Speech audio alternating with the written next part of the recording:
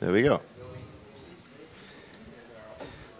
So, hopefully you guys already know about Wallet Connect because I've shouted enough times at many conferences. And but Wallet Connect is an open protocol for connecting wallets and apps, and it's nothing too complicated. It's just a QR code instead of connecting to a browser extension, and it basically just came to the conclusion of browser extensions are not the best way of interacting, and there's so many good mobile wallets. If we could just like connect it really easily, but with all wallets, because Uport Connect has existed for three years, but it only works with Uport Connect and Uport app, and now we have Wallet Connect, which is a standard that anyone can integrate. You can just go to the quick start. You have examples for dApps and wallets and integrated right now. And there's Wallet, there's Tokenary, there's Trust Wallet. MetaMask is also going to release with Wallet Connect support. Rainbow, Balance, and I think that's it. We have six wallets so far. So there has been some good developments. So for example, I released uh, Web3 Connect, which is um, basically an extension for dApps to have both support for MetaMask and Wallet Connect with a simple UI that immediately will connect.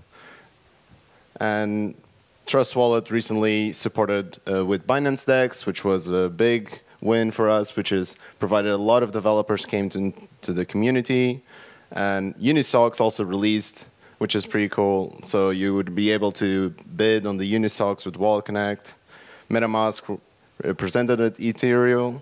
And even Bruno from MetaMask also did a, a demo where he used Connext, which is a state channel a platform for paying with Wallet Connect, which is pretty cool.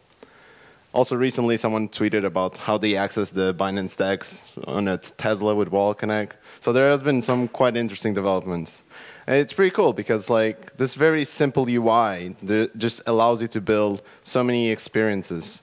You just have a QR code anywhere. So it could be in a Tesla, it could be in a tablet, and you get these messages sent across between the dApp and the wallet. And it's all secure because the private keys are never shared. So you're able to have a loot box like Lee has built to open with your wallet, and you're verifying that you are who you are, and you can always control the session at all times. So what I'm building is called Wallet Connect Pay, which is basically, I want all of these wallets to kind of explore the outside world. And for example, this bar and other bars and many other bars to have the experience of buying drinks with Wallet Connect. This is a UI that I've built that provides a simple enough user interface to create an order where you can add, remove, and you have an order, and you can create different shops. So for example, I have two different shops. This is a coffee shop, and this one is in dollars, this one is euros. It can support multiple chains. The UI doesn't even reflect any of this. It's only when you actually pay that you encounter anything blockchain related. So you, I'm going to get a mate and a cola. When, when I get to pay, I get to the Wallet Connect screen. So you pick your favorite wallet that supports Wallet Connect. For example, I'm going to use Rainbow and just get the QR code. And once you scan the QR code, you will initiate a session and immediately be requested to, to connect or to a different chain or have a transaction. In this scenario, Rainbow doesn't have xDai chain, but if you had WallETH, you could just switch to xDai chain and you would be able to pay in the future, you'd be able to switch between chains and depending on the permissions that the vendor would have. So for example, if the vendor would support XDAI chain you, and Ethereum, you could use both of them. If it supported any other chain, as long as it's EVM chain, it should be fine. So I'm going to try with the coffee shop. So I get an espresso and maybe croissant. I get to the payment. I scan the QR code. And I get a simple interaction which says, with the converted rate, which you can see here 750 and here says 748, given the exchange rate of DAI. And I can just sign it from my phone. And now the transaction is pending, and once it's confirmed, you'll have your order. And basically, this is just a prototype that I'm building, which is trying to provide a much better use case for just dApps, trying to get like some utility to having, because a lot of what I've experienced, even in the crypto community, is that people don't have mobile wallets. And even if they do, they don't actually have value on them because they, there's not many use cases. First of all, like we didn't have dApps interacting with mobile wallets. If you had Trust Wallet or Cipher, you had the dApp browser, that was a good enough use case, but it was still not good enough to make for a daily use case where you hold like 50 to 100 dollars on your phone.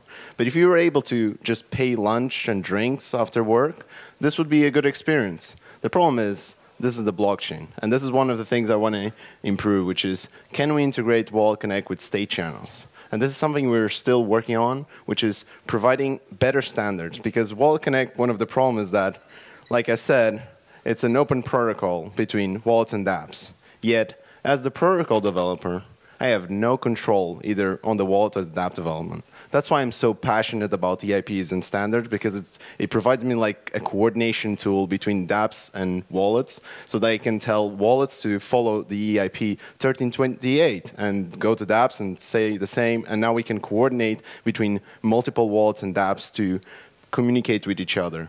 And one of the things that I'm currently uh, pushing for is the 2015, which is Yeah. Uh, come on. Basically, it just provides. Wow, that's terrible.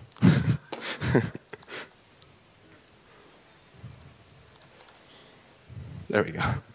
So basically, even if you connect with Wallet Connect or MetaMask, it would be great to have the ability to update the chain to a different chain. So in this scenario where we had um, where we had the, the point where it requested me to connect to a different chain, it would be much better experience as a user if I scan my QR code. And instead of having a transaction request, I would have the vendor is asking you to change chain. And the only thing you would require is for dApps and wallets to support a very simple request where they provide the enough information to switch to any chain. And here I describe how you could potentially uh, integrate this. This is a proposal so far. It's still in draft. But also, it provides a list of best practices where the wallet, if it knows the Goerli interface, it wouldn't actually require all of that information. As long as you have the chain ID, the network ID, you'd be able to switch to any chain very easily and provide a simple UI.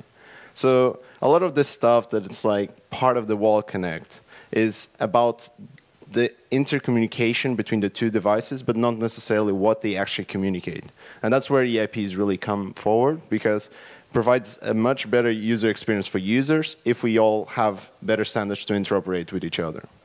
So yeah, I hope like one day this interface for with Wall Connect Pay becomes very common and we can easily just buy a muffin and coffee or a mate and we all use our Connect wallets to pay for lunch. Thanks.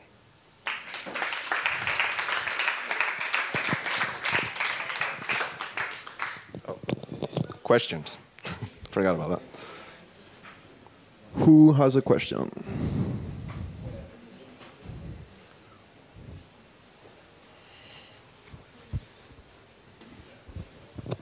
Will Wallet Connect support Polkadot?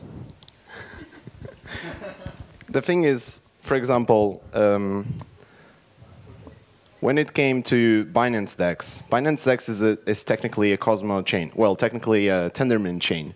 But what they did was basically they created this, uh, an interface using JSON RPC. All the communications between Wallet Connect are JSON RPC calls. So they just created a BNB namespace JSON RPC calls for all their ordering, matching, and whatever. So you can assign all of these transactions on on Wallet on on Trust Wallet because they supported these calls. So if you have a Wallet Connect enabled wallet, doesn't mean you can actually uh, sign messages from the Binance DEX. It just means that you can interoperate between the two. So can it support Polkadot? If they provide an interface in JSON RPC and the wallets then follow that interface, yes. Yeah, so um, maybe what's, what's, what information is actually encoded in the QR code? Good question. Let's get into the technicals then. So basically, here it is. There's a topic, there's an initial topic for the request, there's the bridge URL, and a key to encrypting the messages. You, you post a session request, which includes a peer ID, which is going to be used to send messages to that app, and peer meta, which is scraped from the web page using like an icon, description, a title, a URL. So it basically provides you the same interface as you would get with the MetaMask pop-up that says, do you want to connect to this website? and you would get the same thing on mobile. It posts to the bridge server. And the bridge server is a WebSocket uh, server which has caching that waits until at least one of the parties requests for one of these topics. When you display the QR code, you display the topic, and the wallet is then able to get the session request using that topic, and is able to decrypt it with a key. So you basically just have the minimum information to that, get that session request. Once you have the session request, you basically just interchange uh, messages that are encrypted using that key, and they all have a topic and a payload. Uh, why would the wallet need to know which chain uh, the dApp is on? It could just sign the transaction and send the signed raw transaction back to the dApp. That's actually not correct. actually, it's part of the EIP 1155, which is, provides the simple replay attack transaction, which basically the V field on the signature actually contains the chain ID. As you can see, chain ID plus 2 plus 35. So basically, you need the chain ID to sign transactions and in the future type, type data messages. The same way we track the network ID, we need to track the chain ID to sign the messages. Actually, we shouldn't even track the network ID. It's pointless. It, it's just the same. It's a coincidence. Anyway, don't get into that. yeah, but it, it, could be done like parity signer, where you just provide the the wallet is only doing the signing of the raw transaction. But the the wallet, but so what you're discussing is not whether you have the chain ID, it's whether who decides on the chain ID. So with the parity signer, you're providing the chain ID from the dApp into the wallet instead of having the wallet to the dApp. The reason I did it in this way was to keep the wallet as in control of the session. So just like with MetaMask and other wallets, they decide which chain is the active one, and then they would provide uh, the, that information to the dApp.